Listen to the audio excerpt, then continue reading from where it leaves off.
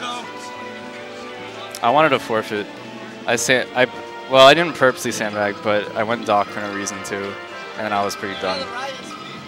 I know I had a riot speed. Yeah, I could do that. I'm surprised I, I did that well against them too.